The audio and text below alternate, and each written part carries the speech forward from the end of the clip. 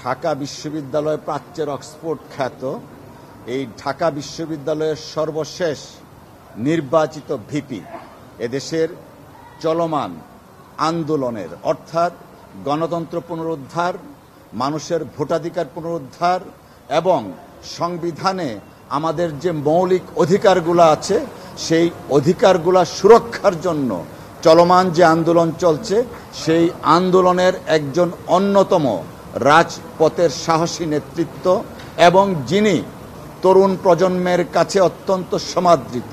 সেই জনাব নুরুল হক নূর সাহেব গত সাতই ডিসেম্বর রাজপথে একটা বক্তব্য দিয়েছিলেন। সেই বক্তব্য মহামান্য আদালতের দৃষ্টি আকৃষ্ট হয়েছিল।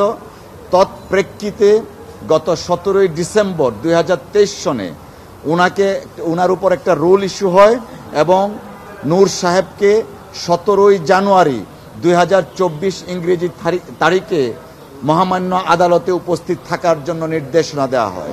জনাব নূর সাহেব নির্বাচিত ভিপি ছিলেন এবং এদেশের মা মাটি মানুষের রাজনীতি করেন। ঠিক তেমনিভাবে তিনি আইন এবং আদালতের প্রতি বরাবরই শ্রদ্ধাশীল এবং সেই শ্রদ্ধা জায়গা থেকে তিনি মহামান্য আদালতের নির্দেশনার প্রেক্ষিতে তিনি সতেরোই জানুয়ারি আদালতে উপস্থিত ছিলেন। পরবর্তীতে আবারও আদালত নির্দেশনা দিয়েছিলেন পনেরোই ফেব্রুয়ারি ওনাকে উপস্থিত থাকার জন্য এবং ব্যাখ্যা দেওয়ার জন্য। আমরা নূর সাহেব আবারও মহামান্য আদালতের নির্দেশনাকে শিরোধার্য মনে করে পনেরো তারিখে তিনি সশরীরে আদালতে উপস্থিত ছিলেন।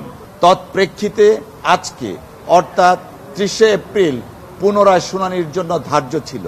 আপনারা জানেন, এই মামলায় এঙ্গেজড লয়ার আছেন বাংলাদেশের সাবেক attorney general senior advocate A J Mohammad Ali Saheb. তিনি বর্তমানে বিদেশে অবস্থানরত আছেন চিকিৎসার্থে।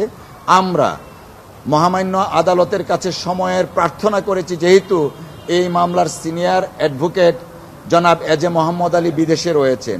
মহামান্য আদালত আমাদের প্রার্থনা মঞ্জুর করেছেন এবং আগামী আঠাশে মে এই মামলার পুনরায় শুনানির দিন ধার্য করেছেন এবং সেই দিনও জনাব নুরুল হক নূর সাহেবকে সশরীরে আদালতে উপস্থিত থাকার জন্য নির্দেশনা দিয়েছেন।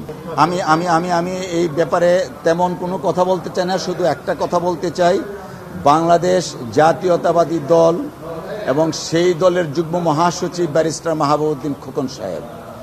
দল এবং সারা দেশের মানুষ প্রত্যাশা করে ব্যারিস্টার মাহবুবুদ্দিন খোকন সাহেবের কাছ থেকে উনি একটা দায়িত্বশীল জায়গায় থেকে দায়িত্বশীলভাবে সবাইকে গাইড করবেন।